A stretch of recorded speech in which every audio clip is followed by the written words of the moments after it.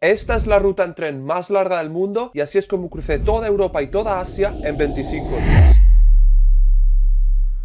Son las 5 y media de la mañana, estoy en la estación de tren de Lagos, al sur de Portugal, y aquí empieza la ruta en tren más larga del mundo. Voy a cruzar toda Europa y Asia a través de al menos 13 países y cerca de 20.000 kilómetros hasta llegar, si todo va bien, a Singapur. Y estas eran las reglas. Primero, solo puedo usar trenes a no ser que alguna causa mayor lo impida. Segundo, tengo que avanzar lo más rápido y con el menor número de trenes posible. Y tercero, solo está permitido parar para dormir o por necesidades logísticas.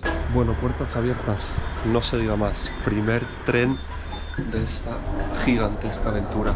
El primer tren era un regional de una hora hasta Túnez, donde me cambié a un tren rápido en dirección a Porto. Y aquí también vino mi primera variación importante respecto a la ruta original en la que me inspiré, diseñada por unos usuarios de Reddit y viralizada en redes sociales el año pasado. En esta ruta se tiene en cuenta un tren directo que había de Lisboa a Endaya que dejó de funcionar en la pandemia. Y después yo hasta hace unos días pensaba que lo que iba a hacer es coger un tren entonces de Lisboa a Madrid, si no puedo ir de a Endaya directo, pues bueno, tendré que ir por Madrid, Barcelona y de Barcelona, y de Barcelona a París. Pero ¿qué pasa? Que las conexiones de tren Lisboa-Madrid son terribles, pero terribles. Así que paradójicamente la ruta más corta era ir en tren a Oporto, de ahí coger otro a Vigo y de ahí sí bajar a Madrid al día siguiente. Y Oporto está ahí, nos falta cruzar el puente, otro puente mítico y, y llegamos. Épico, ¿eh? Segundo tren del viaje completado. Este han sido 5 horas y media y estamos en Oporto. Tenía 6 horas de escala, por lo que aproveché para ir al centro a comer. Y luego fui a una cafetería a trabajar un rato antes de volver a la estación. ¿Este tren va para Vigo? Sí, para Vigo. Ok, obrigado. 155 tengo. Y aquí, este es el mío. No sé si se aprecia en la GoPro, pero lo que hay al otro lado del río ya es España. ¡Buah!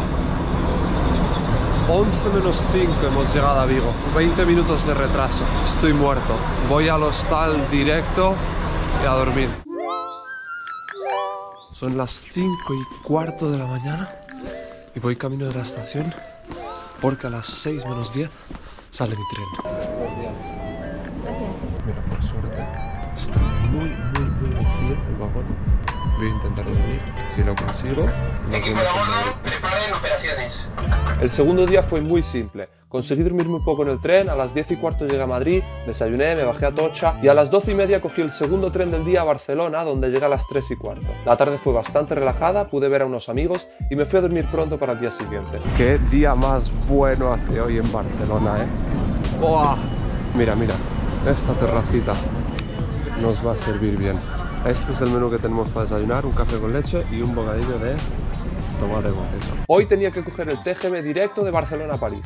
Salía a las 10 y media y llegaría sobre las 5 de la tarde. Las paradas de hoy, Girona, Figueras, Perpiñán, Narbona, Montpellier, Nimes, no sé qué es Nimes, Valencia y París.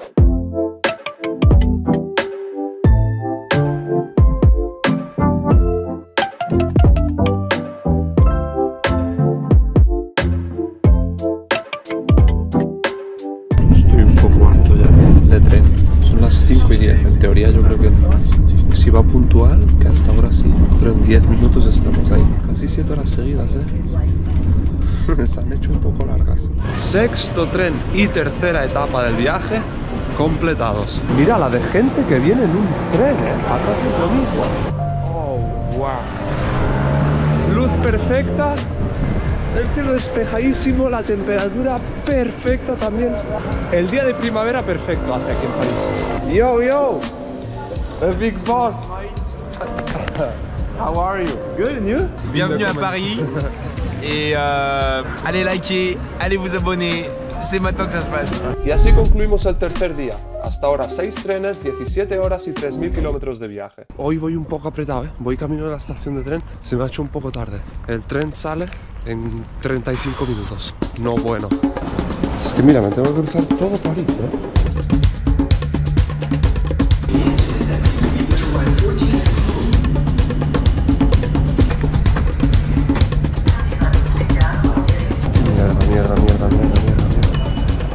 35, estamos en la estación del norte y tengo que caminar todavía a la estación del este, que según Google son 10 minutos desde aquí. Voy a ir apretado. ¡Buah! Adiós Gara del Norte, vamos 8 minutos. No podemos fallar en Europa. Gar del este, aquí estamos. Ay, 10 minutos exactamente tengo. Vale, tren con destino Frankfurt Hauptbahnhof, TGB 9561. Depart. Oh no. Ah, retraso de 40 minutos. Hoy tenía el primer día largo de verdad. Tenía que coger tres trenes. El primero de París a Frankfurt, dos horas de transbordo. Segundo tren de Frankfurt a Berlín, media hora de transbordo. Y por último un tren de Berlín a Varsovia. Después de correr innecesariamente para alcanzar el primero, este terminó saliendo con una hora 40 minutos de retraso y el susto de verdad llegó en Frankfurt, donde llegamos a la una menos dos minutos con cuatro minutos únicamente para coger el siguiente tren. Vamos, vamos, vamos, vamos.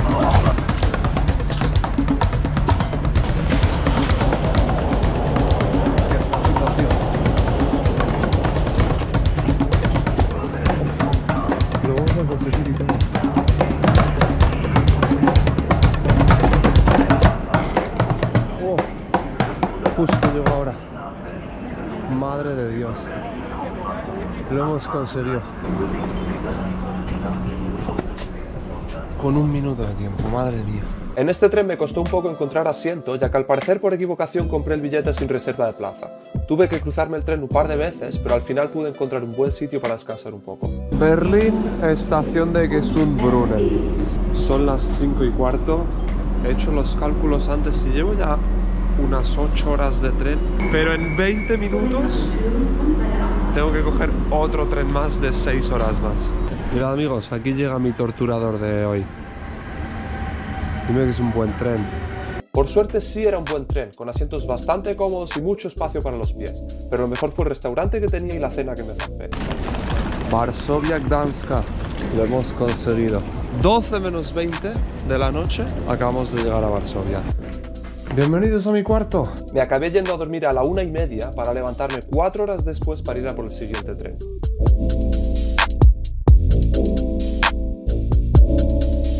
Bueno, esto medio sonando un par de horas.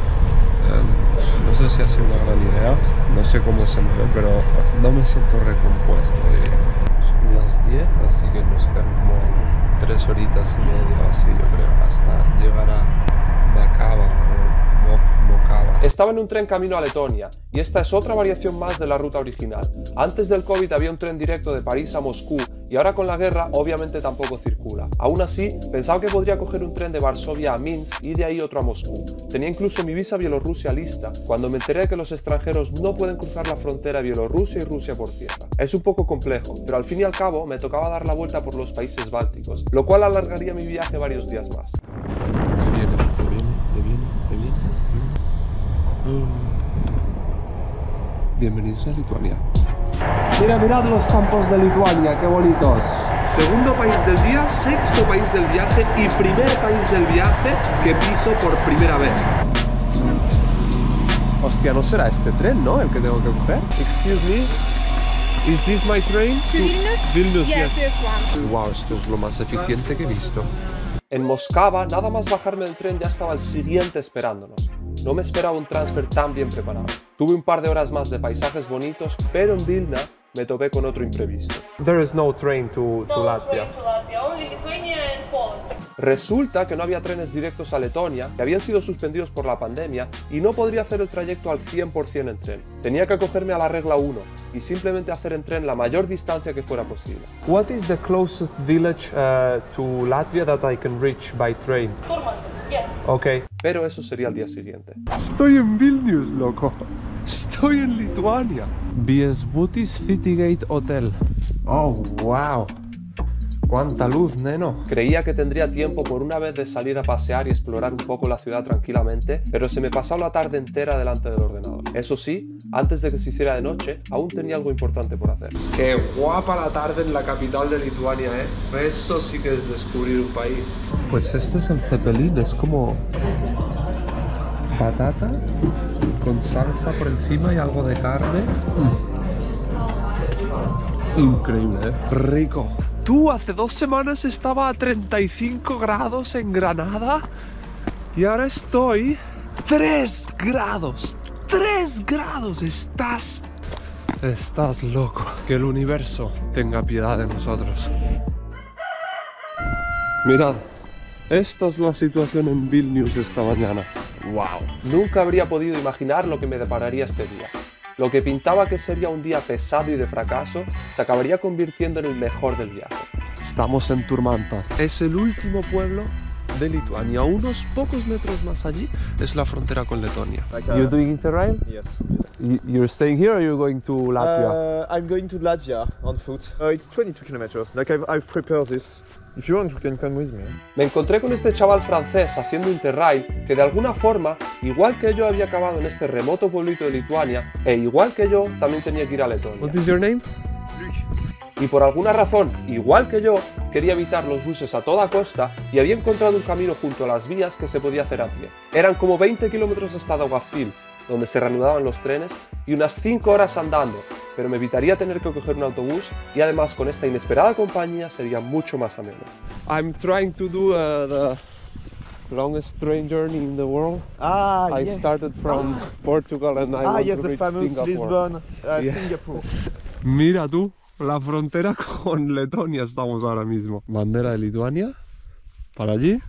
Bandera de Letonia, Y a partir de ahora estamos en Letonia y empieza la misión caminar hasta Daugavpils para poder retomar el tren allí. Mira lo guapo es esto, que puedes literalmente, puedo andar literalmente por mitad de las vías. Después de como una hora caminando, acabamos de llegar a lo que era la primera estación en el lado letonio. Mira qué guapo. La estación se llama Kurkums. Hemos llegado a Daugavpils por las líneas del tren. Pero no nos hemos separado de las líneas de tren en ni un momento. Así que la misión sigue más viva que nunca. Ya está aquí el tren. El trenecito para Riga. Ojo la locomotora, eh.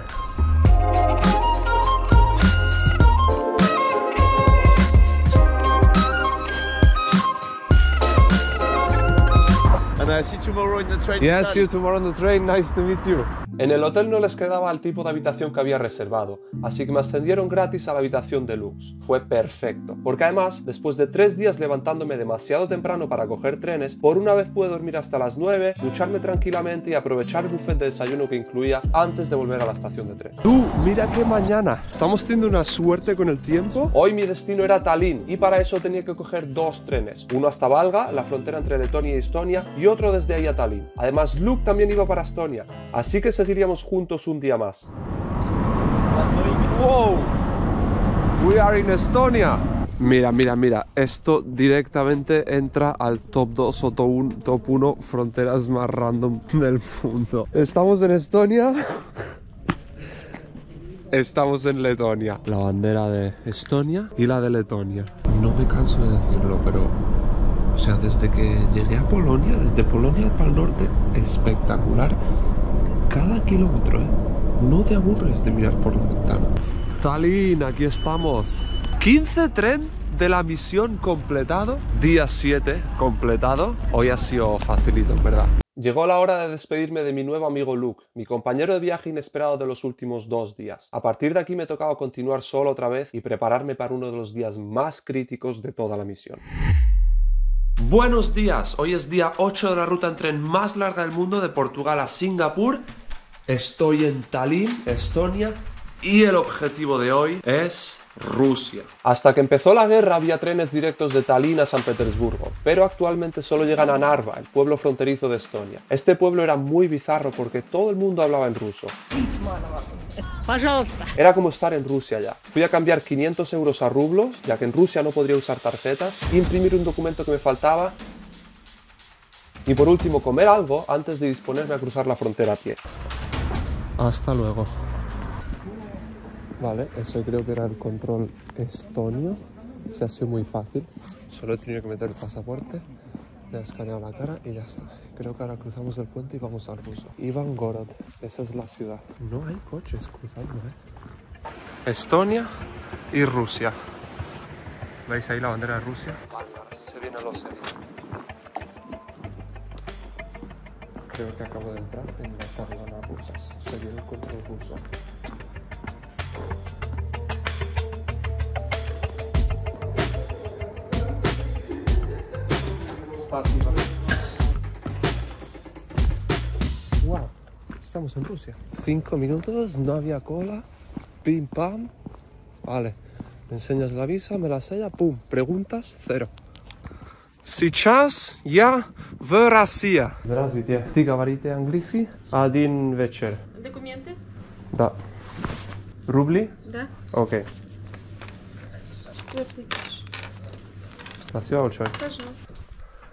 Pues nada, esta mi humilde morada esta noche. Las calles de Ivangorod desiertas de las 5 y media de la mañana. Hoy es el 9 de mayo, es el día de la victoria. Es un día muy importante para Rusia. Celebran el fin de la guerra para la Unión Soviética. Y hay celebraciones al parecer muy importantes y desfiles militares en todas las ciudades importantes del país. Así que puede ser que en San Petersburgo veamos movidita. Bueno, volvemos a los trenes rusos, muchachos. Qué guapo. Buah, acabo de encontrar lo que estaba buscando, ¿eh? Esto tiene que ser la plaza de los eventos. Es que mira ese edificio, qué majestuoso. Una plaza gigante, policía por todos lados, muchísima gente, decoración por todos lados, hasta unos mini escenario por ahí. Tenía toda la pinta de que estaban preparando un espectáculo importante, pero creo que iba a ser por la tarde y yo tenía que coger mi tren a Moscú. Здравствуйте. Здравствуйте. Паспорт. Паспорт, да. Вот Спасибо. повторная проверка. Здравствуйте.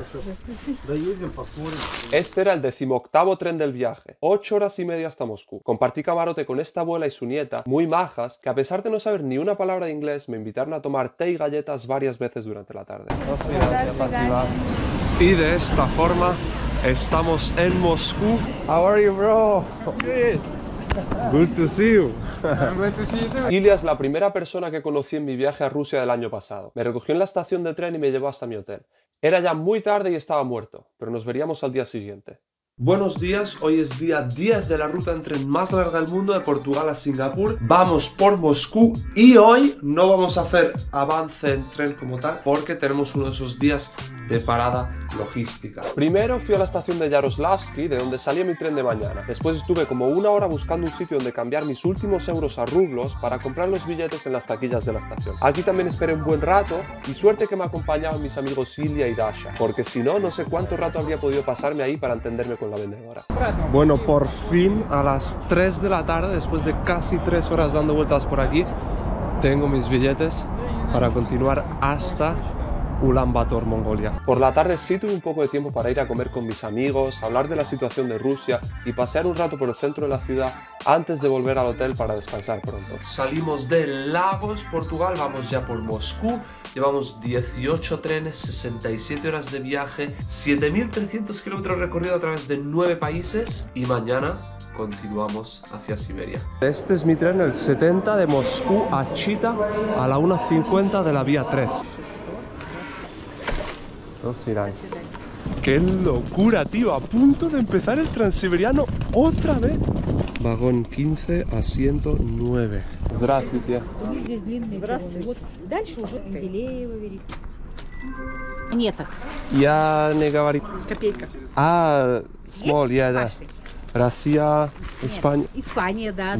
Хорошо. El destino de este tren era Chita, una ciudad a casi 5 días de Moscú. Sin embargo, yo solía hacer el tramo hasta Novosibirsk, en el centro del país. Salía a las 2 menos 10 del 11 de mayo y estaba previsto que llegara a las 5 de la tarde del 13 de mayo, que contando la diferencia horaria significaban casi dos días y medio en tren. Estos fueron probablemente los días más monótonos del viaje. Iba en segunda clase y compartí camarote durante todo el trayecto con un señor que parecía muy serio pero en realidad era majo, roncaba bastante, eso sí, Mi dieta se basó en croissants rellenos, puré de patatas y sobre todo ramen. Fui al restaurante un par de veces para tratar de equilibrar mi dieta y porque es mi parte favorita del tren. Y aparte de eso, lo más destacable fueron 1. Los paisajes que nunca aburrían 2. Las paradas largas de 30 minutos en ciudades importantes que eran los únicos momentos del día donde podía bajar a tomar el aire, estirar las piernas y conectarme a internet. Y tercero, la ducha que me di en el baño de mi vagón la segunda noche con el tren en marcha. Y así, después de 19 trenes, 118 horas y 10.700 kilómetros viajados, llegaba a Nueva Siberia. Bienvenidos a Novosibirsk, la tercera ciudad más grande de Rusia, ¿eh? Vokzal Novosibirsk, Glavny. En cuatro horas y media o así sale mi siguiente tren desde aquí. Ay, tengo que aprovechar bien el tiempo.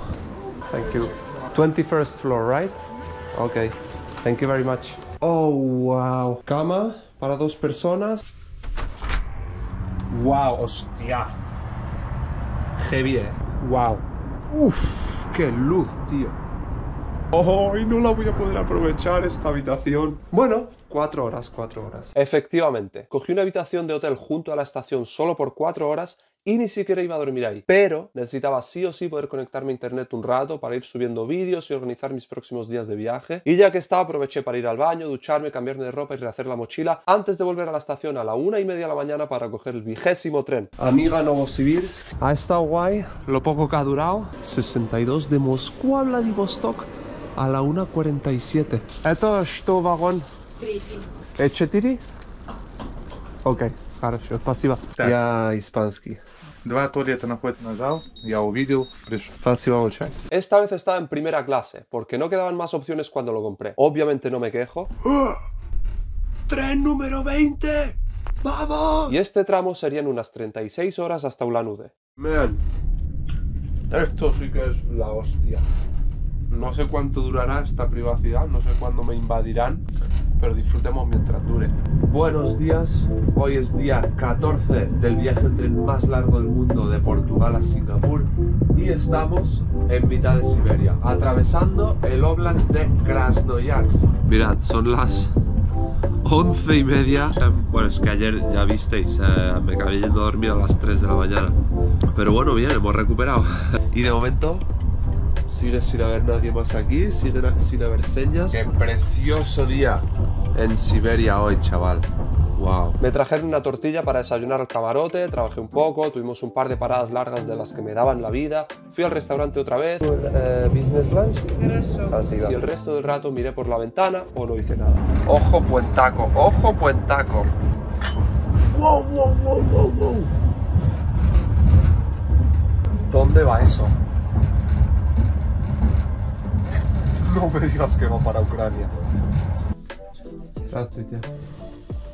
Poco antes de que se hiciera de noche entró esta mujer en mi camarote. La verdad es que era bastante maja y estuvimos hablando un poco. Cuando me levanté al día siguiente estábamos en Irkutsk y la mujer ya se había bajado. Mi compañera de camarote ya se ha ido, ya me ha vuelto a dejar solo, se ha bajado en Irkutsk me parece. Justo me despertaba cuando estábamos en la parada y ella ya no estaba. Hoy era otro gran día, porque si todo iba bien, a la noche ya estaríamos cruzando a Mongolia. Pero antes de eso, circulamos casi toda la mañana junto al lago Baikal, que para mi sorpresa seguía totalmente congelado. No, mirad esto.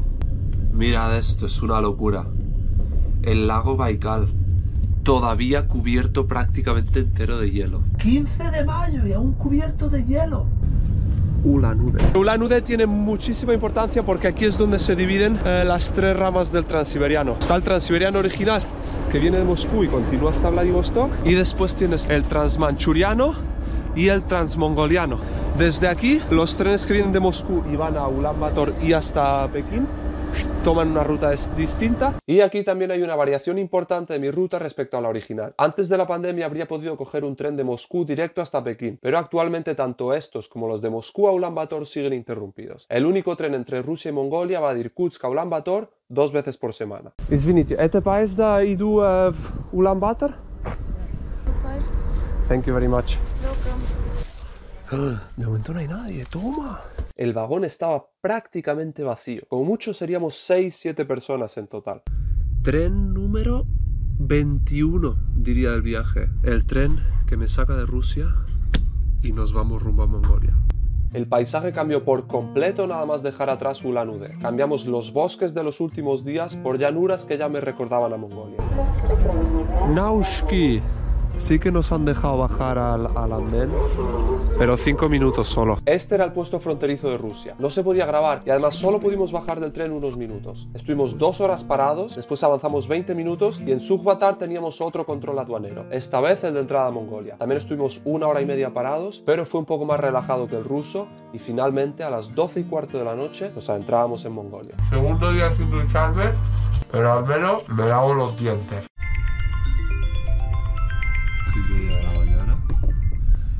Y esta es la situación en el exterior, atravesando las estepas mongolianas. Y mira el tiempo, ¿eh? Se nos acabó el buen tiempo y el sol. Qué extraño estar donde estuve dos meses atrás. No sé, tienes como algo guay, ¿no? Volver a sitios que ya conoces, donde ya has estado. El centro de Ulan Bator.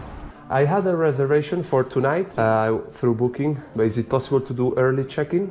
Uh, okay, let me check. Sir, can I have your passport, please? Yeah, sure. No eran ni las 9 de la mañana cuando llegué a mi habitación de Ulan Bator y mi próximo tren no salía hasta el día siguiente por la tarde, por lo que este sería otro día de logística.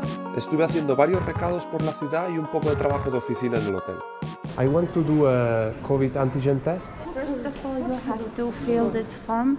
Uh, Your test result will be ready after two hours. Oh. Me había enterado de que para entrar en China aún había que presentar un test de antígenos negativo realizado en las últimas 48 horas. Así que esta era la misión de la mañana antes de coger mi tren por la tarde. Volví al hotel a recoger y hacer el checkout, fui a comer y volví a por mis resultados. ¿Negative? Yeah, good. Amazing, thank you very much. Rápido y eficiente, como tiene que ser. Son las 15.40 y vamos de camino a la estación de tren. ¡Ja! ¡Me ha pitado! Es que no sé si se ha visto en la GoPro, pero me ha saludado el, maquinista. Joder. Menudo coñazo, chaval. ¡Guau! ¡Qué heavy! Sembe no. Yes? ¡Wow! ¡Vale! Hemos llegado. Mira, este es mi compañero de camarote, es Tulga, right? Yeah, yeah, my name is Tom. Y sí, em, vamos juntos, él también va a China de vacaciones y pues aquí vamos a ser compañeros de cuarto toda la tarde y, y hasta mañana por la mañana. You've taken this train before already or is the first time? Yeah, it's my first time here. First time. Nos vamos a atravesar todo el Gobi.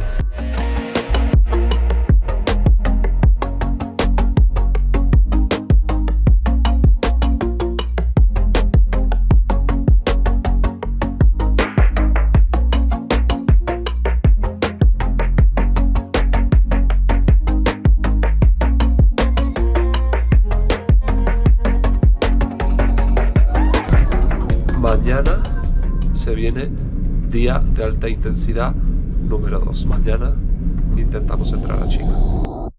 Y este fue seguramente el peor día del viaje. Todo salió mal. No. 4-0. Ya me jodió el día, macho. Baita, baita.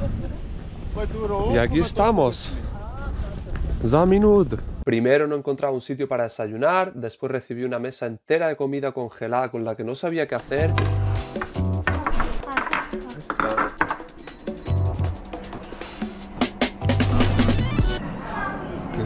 Iba a cruzar la frontera a pie, porque como dije, los trenes directos a Pekín siguen interrumpidos, pero unos guardias me dijeron que no podía y que solo podía cruzar en bus. Este fue el mayor fail del viaje. Después la policía del parking de buses era muy borde. El trayecto en bus de 5 kilómetros duró 2 horas. Fui el último en salir de las aduanas chinas porque los guardias estuvieron mirando mi pasaporte 15 minutos. Una vez en China no entendía nada. La estación de tren estaba cerrada. ¿Qué hago yo hasta las 10, 11 de la noche. Decidí alquilar una habitación de hotel para pasar el día, pero no podía conectarme a internet, ni siquiera las VPN funcionaban. Me di cuenta de que había perdido mi cargador en Mongolia, de repente apareció una tormenta de arena que envolvió el pueblo. Fui a buscar una SIM, pero no pude porque no nos entendíamos con la dependienta, y entre todo llevaba casi un día sin comer y acabé en el KFC señalándole a la camarera lo que quería. Lo único que salvó el día fue que llegaran las once y media, la hora de coger mi primer tren en China. Por suerte no hubo contratiempos aquí, el tren estaba guay, mi camarote tranquilo, mi cama cómoda, y me fui a dormir confiando en que el día siguiente mi suerte mejorara un poco.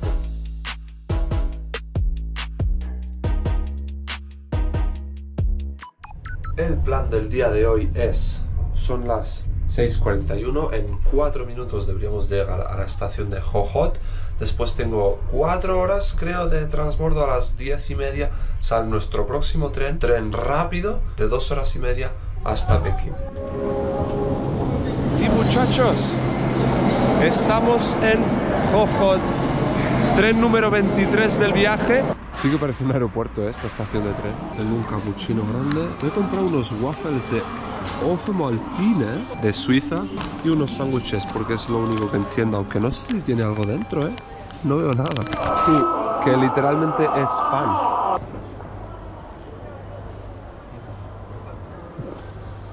Sigue siendo mejor que el desayuno de ayer, ¿eh?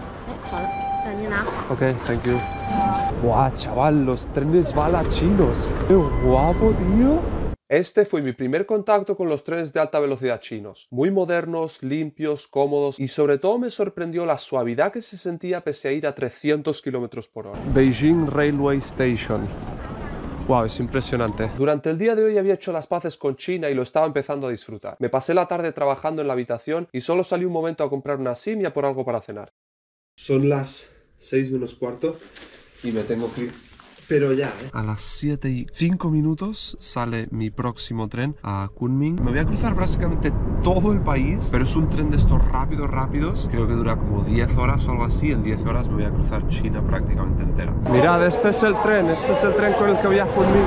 10 horas en un tren de alta velocidad. Es una locura, ¿eh? Es que la distancia que vamos a hacer creo que son 2.500 kilómetros o algo así, ¿eh? Vendría a ser como ir en tren de Málaga a Ámsterdam en 10 horas. Simplemente sin sentido. Pasé junto a varias ciudades impresionantes. En todas partes se veían grandes bloques de viviendas en construcción. Paramos en Wuhan y justo alguien le dio por toser. Estuve hablando con un chino a través del traductor un buen rato. Y a lo largo de las 10 horas hizo sol, se nubló, llovió, volvió a hacer sol y el paisaje también cambió una barbaridad por el camino. Es que literalmente cruzamos medio continente en unas horas. Me estoy preocupando porque Google, eh, el Maps me dice que estoy ya casi aquí, pero aquí lo que hay es el edificio este en construcción. Literalmente el hotel es eso. Pero no pueden haber puesto un hotel por construir en Booking, ¿no? Por suerte había visto otro hotel justo a la salida del metro y fui a preguntar si tenían sitio.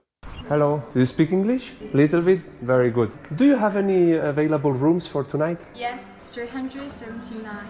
I'll take that one. Oh, thank you very much. This your room number.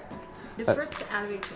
Thank you very much. No me ha salido mal la jugada, la verdad. A Tour Hotels, I love you. Vigésimo primer día, entrando en la recta final ya, hoy tocaba el trayecto de Kunming a Vientiane, que es muy importante porque se inauguró muy recientemente, en abril, y es el trayecto que por fin ha hecho posible esta ruta en tren más larga del mundo. Todo empezó muy bien, pero el problema llegó en el control de inmigración de Laos. We, we make it on time to the train again?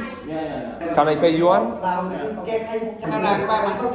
So we go to Boten and we come back and get the train, yeah? Madre mía, qué movida. Resulta que lo del Visa on Arrival en esta estación no funciona, supongo porque es muy nueva o lo que sea, pero en esta línea de tren no hay Visa on Arrival. Entonces, em, si no entendió mal, vamos a ir a Boten, al pueblo, a que nos la tramiten ahí, pagar allí, vemos con el coche algún policía o algo y volver, ojalá a tiempo para coger el tren. Este hombre de aquí es el que nos ha traído el coche, tiene mi pasaporte, le he dado el dinero y ha dicho que esperemos aquí y que él va a tramitar eh, la visa por mí. Me están sacando los, los yuanes de 100 en 100, eh.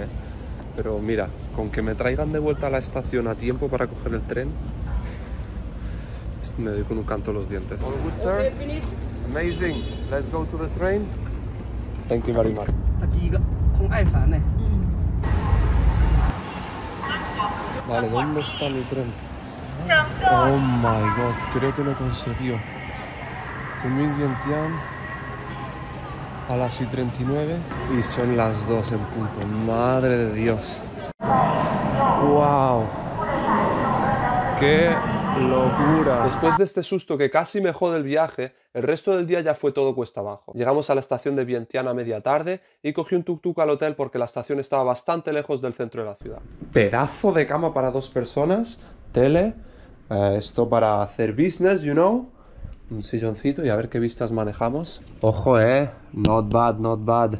Buenos días, día 22 del viaje en tren más largo del mundo de Portugal a Singapur. Salimos de Lagos, estoy en Laos y hoy toca cruzar a Tailandia. Ojo que estamos entrando en el puente. El puente que une Tailandia con Laos. El río Mekong. No he tenido internet para estudiarme un par de datos, pero es el río más importante de Asia. Durante buena parte de su recorrido es la frontera entre Laos y Tailandia. Mira, mira, mira, mira. mira. Ahora estamos en Tailandia. ¡Qué fuerte! Bienvenidos a Tailandia. Primera vez en Tailandia. Son las 17.41, o sea, 10 minutos hemos tardado, 12 minutos. Tren número, ¿cuál era? El 27, yo creo, del viaje. Completado. Y bienvenidos a Tailandia. Y bueno, esta es la estación de Nong Hai. Aquí ya sí hay algunos extranjeros, algunos backpackers. Caminé unos 20 minutos al centro del pueblo mientras anochecía para conseguir una sim local, algo de efectivo y comida. El calor que hacía era asqueroso y a los 5 minutos ya estaba empapado de sudor. Volví a la estación a las 7, a media hora de que saliera mi tren a Bangkok. Hello sir, good evening. No problem. Car I'll 11. cut. Yes, this car. This one? Number four.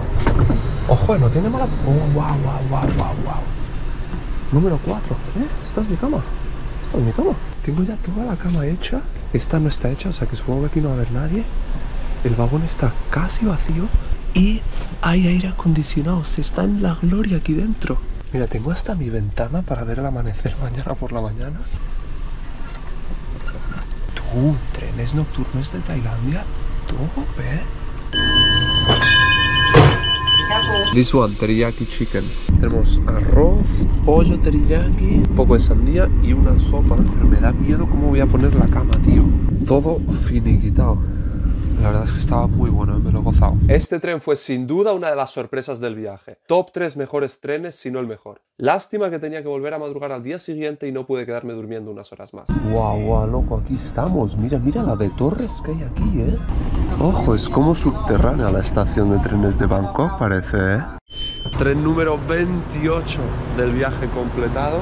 Mi tren a Malasia salía a las 4 de la tarde, así que aproveché la mañana para encontrarme con una amiga que vive en Bangkok y hacer una visita express al barrio chino de la ciudad. En como dos o tres horas, Iris me llevó a probar cuatro o cinco comidas típicas diferentes, además de un paseo en tuk-tuk antes de volver a la estación de tren. Thank you very much for the tour. Express tour, but nice first impression of Bangkok. El otro gran acontecimiento del día fue la incorporación a la expedición de mi amigo José el argentino, que casualmente estaba en Tailandia cuando yo pasaba y decidió acompañarme los últimos dos días. Juntos cogimos un tren que nos llevaría hasta Malasia. Desafortunadamente, era una versión bastante más antigua del tren que cogí anoche. Oh, Mirad, hoy sí se ve perfecto la vía. Está la puerta abierta. Es que esto es muy heavy. ¡Qué loco! Aquí está el restaurante. Aquí hay que gritar para escucharse. Bro. Hello, sir. I will take uh, this one, set E. Este es el restaurante de tren más bizarro en el que he estado, ¿eh? Bueno, yo he terminado por hoy. Review una comida espectacular, la verdad, excepto ese zumo. Muy top. Voy a ir ya para el cuarto, que quiero volver al aire acondicionado. Aquí el maestro se va a quedar un rato más currando. Buenos días desde el sur de Tailandia. Eso es para empezar Thailand. Y mira, mira, mira, mira, mira, mira. Ojo que vamos a cruzar, pero hostia, están pegadas, ¿eh? Mira, mira, mira, mira, mira. Esta valla, esta valla, esta valla en la frontera. Estamos en Malasia. Thank you, sir. Y nada, aquí ahora hacer cola. Passport control. Hello, sir. Hemos salido de Malaysia también. Ya somos legales en el país. No sé si desde aquí se ve. Allí al fondo se ve la valla que separa Malasia de Tailandia. Señoras y señores, la frontera entre Malasia y Tailandia. Tailandia, Malasia. Estamos ahora mismo aquí y vengo desde aquí. De hecho, todo esto, todo esto, todo esto por aquí, por aquí, por aquí, por aquí, por aquí, por aquí, por aquí, hasta aquí, por tierra. 24 días llevo y ya casi lo tenemos. Realmente ya falta bien poquito. You accept the Thai baht? Oh no, we accept Malaysian only. Also credit card, ¿no? Qué sad, tío. Pues nada, a morirse de hambre al vagón. Llegamos a Kuala Lumpur a las 7 y cuarto de la tarde, y como teníamos dos horas hasta el último tren del día, decidimos aprovecharlas haciendo una nueva escapada express al centro de la ciudad con el único objetivo de hacernos una foto con las Torres Petronas, que ninguno habíamos visto. Mira, no estáis preparados para esto, ¿eh? No estáis preparados para esto. Voy, ¿eh? Buah. Buah. Qué locura. ¡Qué locura! Como no podía ser de otra manera, acabamos corriendo para alcanzar el último tren. Pero la cuestión es que lo hicimos. Nos dio tiempo incluso a pedir McDonald's para llevar y comerlo en el tren. A las 12 y cuarto llegamos a Gemas, la última parada del viaje, y fuimos directamente al hotel y a dormir. Porque en 6 horas había que levantarse otra vez para afrontar el último día. Buenos días, estoy en Gemas, al sur de Malasia, y hace 25 días estaba en la estación de tren de Lagos, en Portugal, con un único objetivo, completar el viaje en tren más largo del mundo, de Portugal a Singapur. Hay más de 8 horas documentando todo el proceso aquí en YouTube, en mi canal, hasta llegar aquí y ahora. La estación de tren de Gemas, a falta de coger los últimos dos trenes y recorrer los últimos 200 y poco kilómetros, que me separan de Singapur.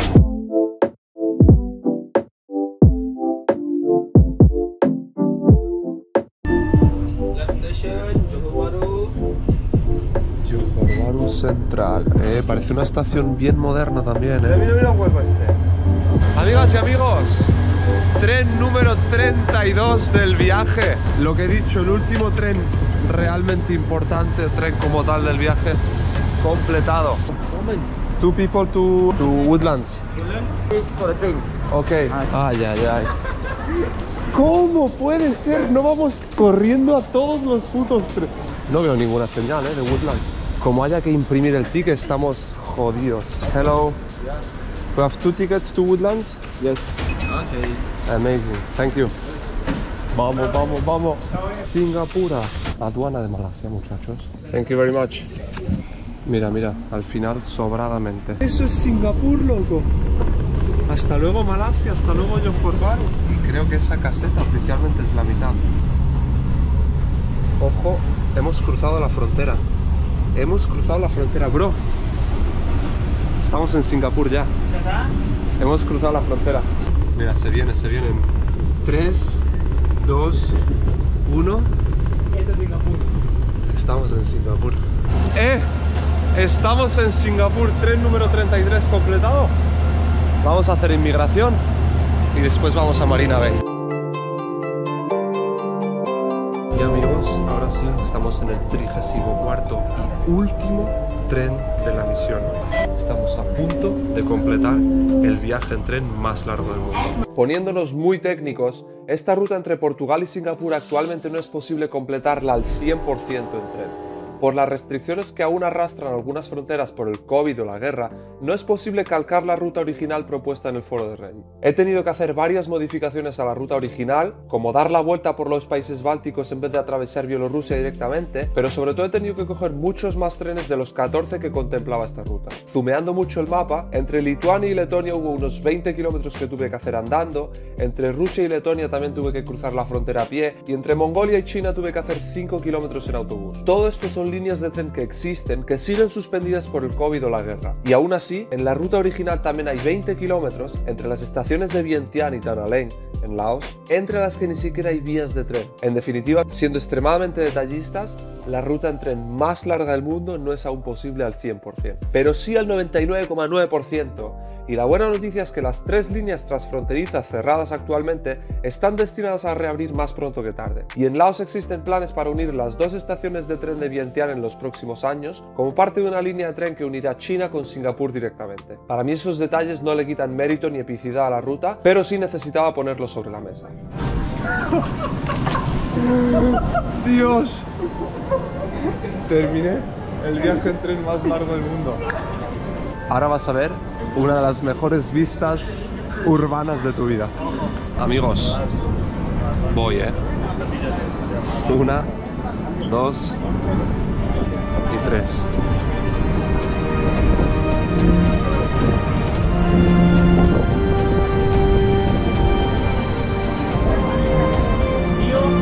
Qué locura. Qué locura. ¿Qué se siente ver Singapur por primera vez? Ya tiene sentido, ¿me entendés? Hoy hace 25 días, a las 6 y 10 de la mañana, cogí el primer tren en Lagos, al sur de Portugal. Y hoy, 25 de mayo, a las 5 menos 2 de la tarde, después de 34 trenes, 252 horas viajadas, 21.500 kilómetros y 15 países atravesados, he terminado el viaje en tren más largo del mundo. ¡Ah! Estoy muerto. Pero muerto. Me ha dado un bajón de repente. Me ha dado un bajón. Se me ha ido toda la energía. No puedo ni llegar al hostel. No puedo, no puedo. Ha sido llegar a Singapur y mi cuerpo ha dicho, basta, hasta aquí. Dejo de funcionar tres días.